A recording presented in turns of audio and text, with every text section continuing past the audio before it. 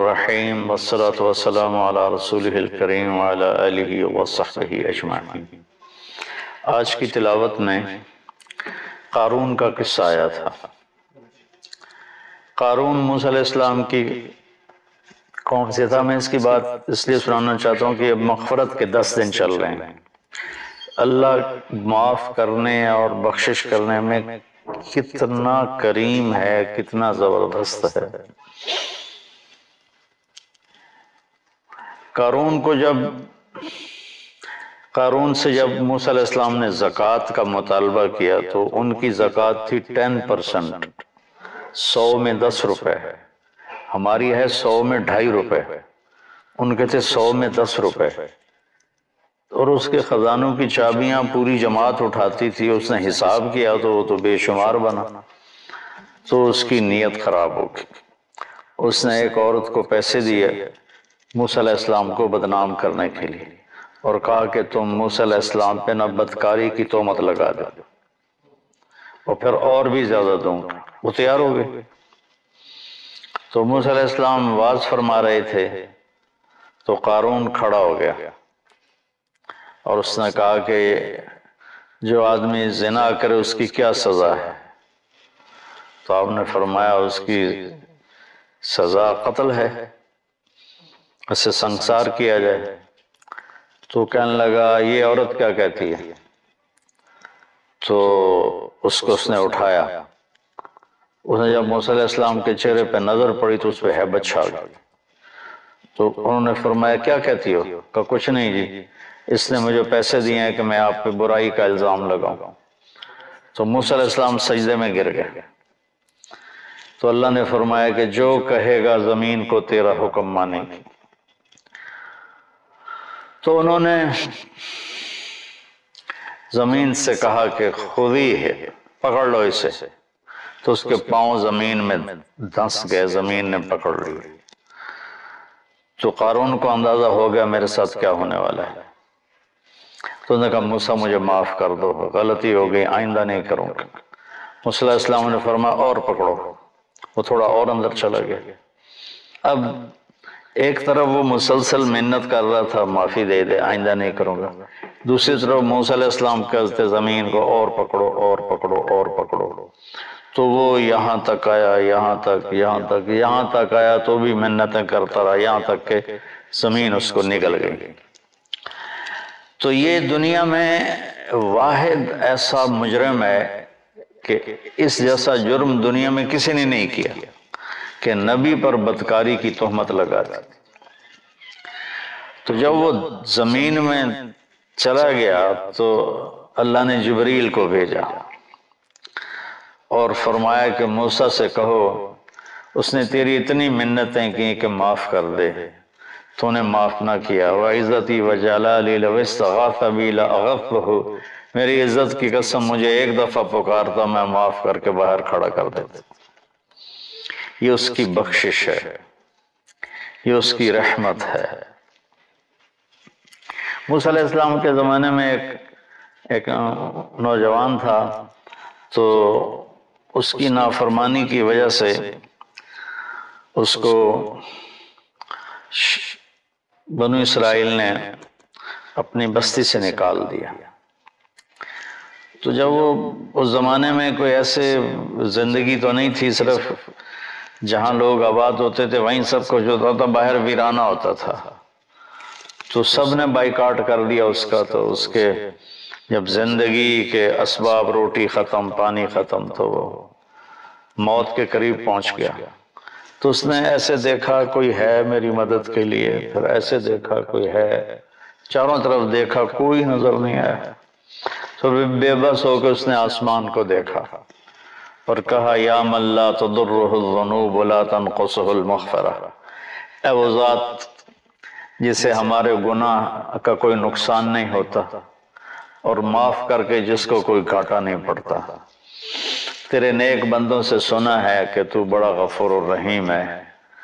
तू माफ़ी मांगे तो माफ़ कर देता है। तो मैंने सारी ज़िंदगी गुनाहों में गुजारी है।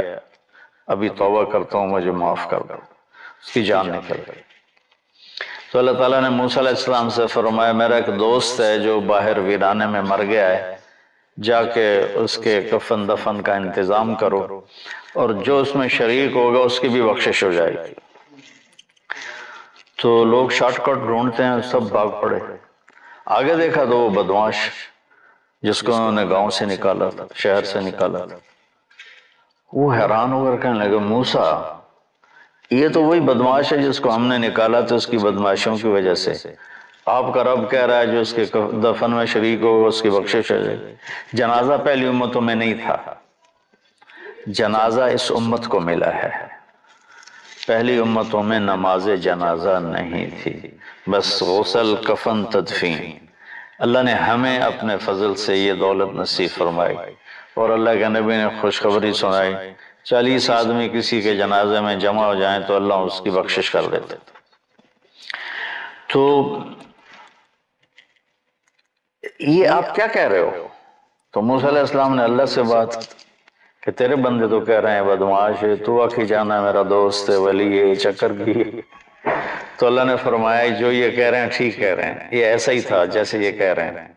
लेकिन जब इस पर मौत आई तो इसने दाएँ बाएँ देखा और कोई मदद के लिए नज़र नहीं आया। फिर इसने जब मेरी तरफ़ देखा तो मुझे शर्म आई कि जिसकी मदद के लिए कोई ना हो और वो मुझे पुकारे और मैं पुकार पे लब्बैक ना कहूँ। मूसा, उसने अपनी बख्शिश मांगी। मेरी इज़्ज़त की कसम, उस वक्त पूरी दुनिया के इंसानों की बख्शिश माँगता तो मैं उसकी तो फैल सबको माफ़ कर देता। ये अल्लाह की मफ की मफफरत मफफरत के बख्शिश के दस दिन चल रहे हैं कि अल्लाह पाक के बारगाह में रहमत सबकत गदबी, अर्श के ऊपर लिखा हुआ इन रहमत सबकत गदब. मेरी रहमत मेरे गुस्से से आगे है। कुरान की एक आयत नब्बे इबादी अन्नी अनलगफूर रहीम वन आज़ाबी हुवल आज़ाबुल अलीम. मेरे बंदों को बताओ कि मैं बहुत गफुर रहीम हूँ और मेरा अजाब बहुत दर्दनाक अजाब है। उर्दू तर्जमे में आपको दोनों तरफ़ की खबर बराबर नज़र आएगी, लेकिन ये ऐसे है ऐसे है।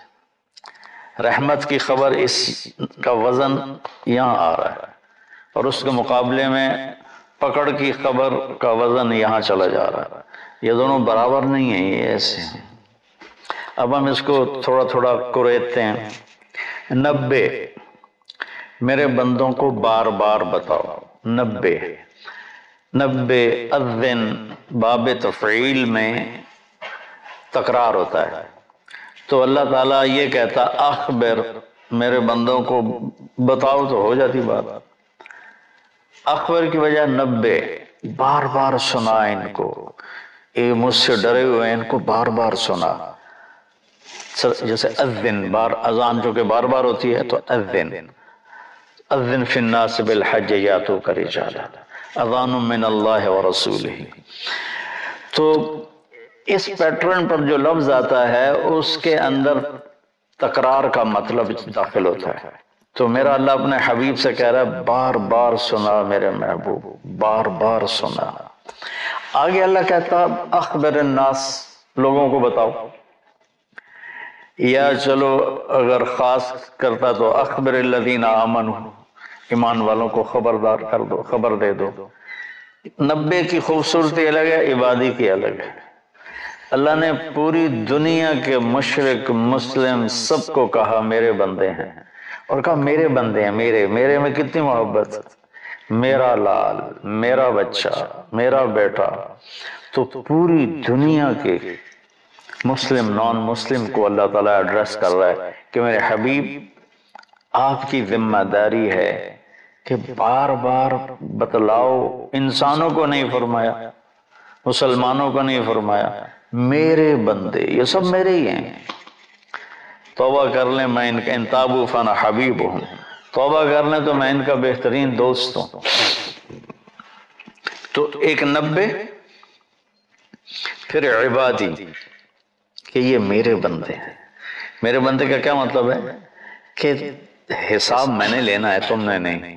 तो तुम मेरे बंदों को जलील न करो, किसी को हकीर न जानो। कोई अच्छा है या बुरा है?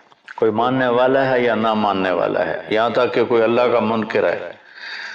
तो अल्लाह ताला कहता है, तुम्हें इजाज़त नहीं दे रहा कि तुम उनको किसी तरह भी जलील करो या हकीर जानो।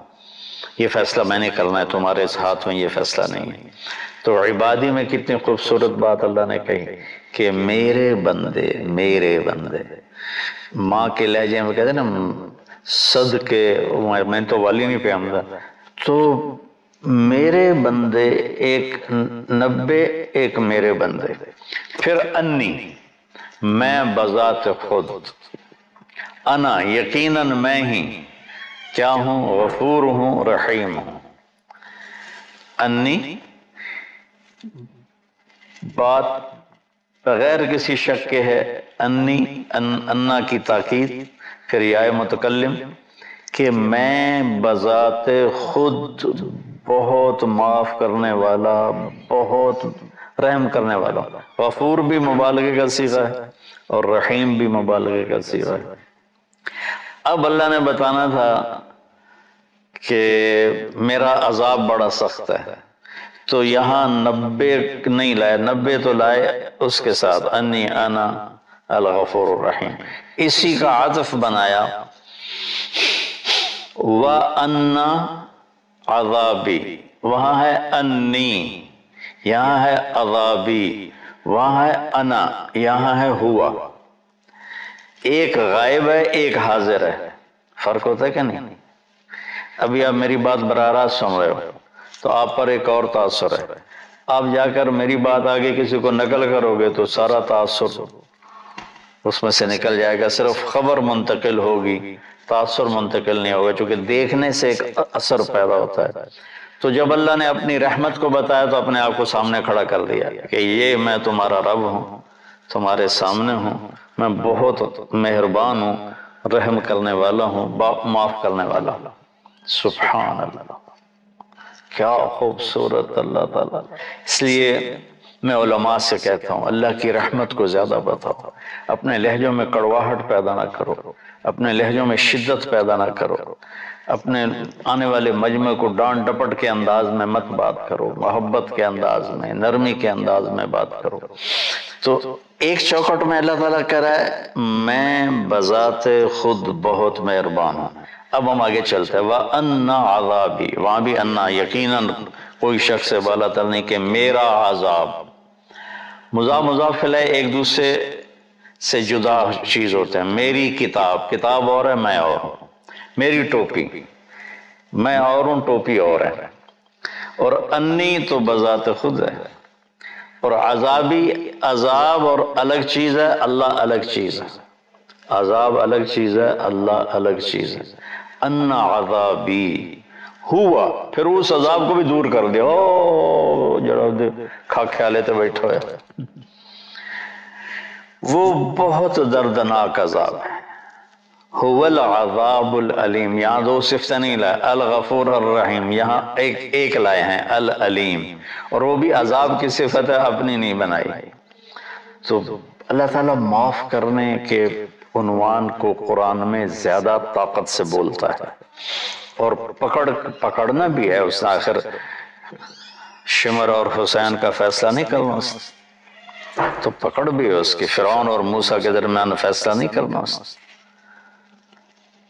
तो पकड़ भी है, लेकिन पकड़ को अल्लाह उतनी शिद्दत से नहीं बताता जितनी ताकत से अल्लाह अपनी रहमत को बताता है। तो मेरे बंदों को बताओ बार बार बताओ कि मैं बजात खुद तुम्हारे सामने कह रहा हूँ कि मैं बड़ा मेहरबान। और फिर हाँ वो जो मेरा अजाब है ना, वो वो जो मेरा अजाब है ओ तो लंबे तो पार टपा छड़े। वो जो मेरा अजाब है ना, वो वो बड़ा दर्दनाक आज़ाद है। सोचो, खुशखबरियाँ सुनाओ। अल्लाह की रहमत से लोगों को करीब करो। एक, टीवी के एक्टर थे, बड़े पुराने। तो वो मुझे मिलने आए। कहने लगे, मैं आपसे इसलिए मिलने आया हूँ कि आप अल्लाह से डराते नहीं, आप अल्लाह से मिलाते हैं। कहा मैं मौलवियों से नहीं मिलता हूँ, लेकिन आपसे मिलने आया हूँ कि आप अल्लाह से डराते नहीं हो, आप अल्लाह से मिलाते हो, आप अल्लाह की तरफ़ बुलाते हो। कितने रास्ते में लोग मिलते हैं जहाज़ में, रास्ते। फिर आपके बयान सुन के बख्शिश की उम्मीद लग गई हम तो सोच रहे थे कि साड़ी बख्शिश कोई नहीं। बख्शिश की उम्मीद लग गई, जन्नत की आस लग गई। तो मफरत का अल्लाह ताला को इतना पसंद है कि अल्लाह के नबी का फरमान है, अगर तुम सारे नेक बन जाओ, गुनाह करने छोड़ दो तो अल्लाह तुम सबको मौत दे के जन्नत में डाल दे और एक ऐसी कौम पैदा करेगा जो गुनाह करके रोएँगे और माफ़ी मांगेंगे, फिर अल्लाह खुश होकर उन्हें माफ़ करेगा। माफ़ करना अल्लाह को ऐसा पसंद है। अल्लाह की तरफ़ से जो अपने बंदों के लिए रहीम, इरहमु मनफिल अर्द यरहम कुम मनफिल समा। तुम ज़मीन वालों पे रहम खाओ, अल्लाह तुम पे रहम खाए। दूसरा आया, सूरा, वो क्या है? अनकबूत में। हसबन्नास युतरकू यकूलू। आमन्ना वहम ला युफ्तनून। कि कलमा पढ़ने के बाद तुम आजमाए ना जाओ, ये ख्याल दिल से निकाल। दो वलकत फ़तन मिन कबलकुम फ़लयालमन्नल्लाहुल्लदीन सदक़ु वलयालमन्नल तो अल्लाह ताला यहाँ पूरी आयत का खुलासा ये कि अल्लाह फरमा रहे हैं कि जब तुम मुझे मानोगे ना कि हाँ हम मान गए तो एक अकेला है, तेरा कोई शरीक नहीं। और मोहम्मद सल्लल्लाहु अलैहि वसल्लम तेरे रसूल हैं। तो फिर मैं तुम्हें आजमाऊँगा। उसके लिए जो लफ्ज इस्तेमाल किया ना, वो है फतन्ना। युफ्तन। फतन कहते हैं सोना पिघलाना। फतान अरबी में सुनार को कहते हैं। गोल्ड स्मिथ जिसको अंग्रेज़ी में कहते हैं। सुनार को अरबी में फतान कहते हैं। सोना को पिघलाने वाला। बाज़ चीज़ों की मैल कुचैल दूर हो जाती है पानी से, पेट्रोल से, साफ़ हो जाता है। बाज़ चीज़ें ऐसी होती हैं जिनके मैल अंदर घुसी होती है। वहाँ पानी नहीं पहुँचता, पेट्रोल नहीं पहुँचता। उसको फिर पिघलाना पड़ता है। जो धातों के अंदर मैल है, वो पानी से नहीं धुलती। लोहे में अंदर जंग फंसा हुआ है, सोने में खोट। मैंने एक दफ़ा पूरा प्रोसेस देखा था, सुनार के पास बैठकर। कि उसने सोने की टिक्की को पिघलाया, फिर उसमें से खोट को अलग किया खालिस को अलग किया, ये सारा मेरी आँखों देखा है। तो तो जो धात होती है, वो पानी से नहीं साफ़ होती। उसको आग में डालना पड़ता है। वो उसके अंदर मसामों में आग जाती है तो पिघल कर खोट को अलग कर देती है वो आग और खालिस को अलग कर देती तो इंसान दो चीज़ों से बना है, एक जिसम से, एक रूह से। तो जिसम पर जो आने वाले हालात हैं, उनकी मिसाल पानी से धुल जाते हैं। वो जहरी असबाब से दूर हो जाते हैं, लेकिन जो रूह पे हालात आते हैं अल्लाह की तरफ़ से, नागवारी के, ये वो है जो सोने को पिघला के अंदर से खोट निकालना जब तक उसके ऊपर अल्लाह की तरफ़ से आजमाइश नहीं आती, अल्लाह हम सब की हिफाजत फरमाए। उस वक्त तक वो खालिश नहीं बनता। जब तक वो उस बोझ को बर्दाश्त नहीं करता, अल्लाह की रजा का।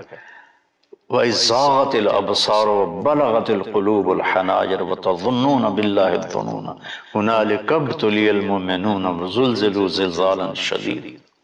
जब तुम्हारी आँखें फट गई और कलेजे उछल के मुँह को आके सहावा को अल्लाह कह रहा है, जंग खंदक में कि तुम इतनी मशक्कत में आए कि आँखें फट गई।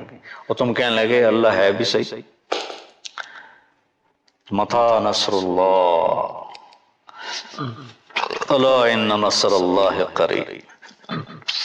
तो ये दुनिया आइडियल होम नहीं है। लोग इसे आइडियल होम बनाने के चक्कर में हैं। बड़े बड़े बड़े महल बनाते हैं। बड़ी बड़े आराम की शक्लें बनाते हैं। अपने आप को तस्कीन देने के लिए करोड़ों अरबों डॉलर की कश्तियाँ बनवाते हैं।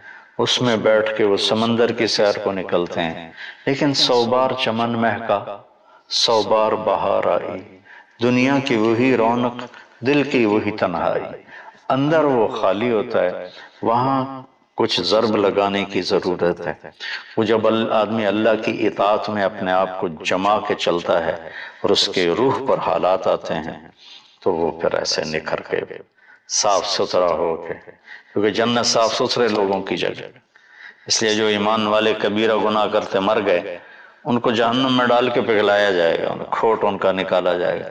खोट निकाल के फिर जब वो खालिश हो जाएँगे, फिर जन्नत में डाल दिया जाएगा।